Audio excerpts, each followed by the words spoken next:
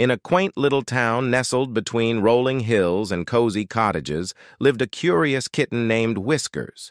Whiskers was a tiny ball of fur with eyes as bright as the moon and a playful spirit that couldn't be contained.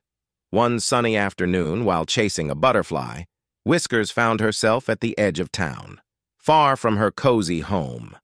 As the sun dipped below the horizon, Whiskers realized she was lost. The streets that were once familiar now seemed like a maze of confusion. She let out a tiny meow, hoping someone would hear her. Just then, a friendly old tortoise named Mr. Tumble approached. Lost, are we? he asked with a gentle smile.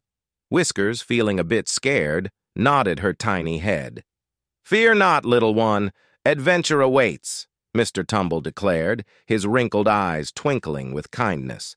With a determined heart, Whiskers and Mr. Tumble set off on a great adventure to find their way back home.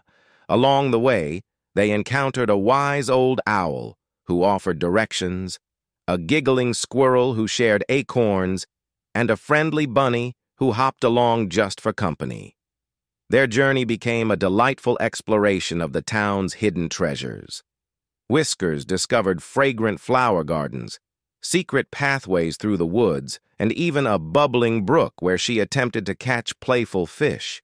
Every step brought new surprises and new friends. As the night sky painted itself with stars, Whiskers and her newfound companions reached the heart of town. There, under the twinkling lights, Whiskers spotted the familiar silhouette of her home. A chorus of meows echoed through the quiet streets as her family, worried sick, rushed to greet her.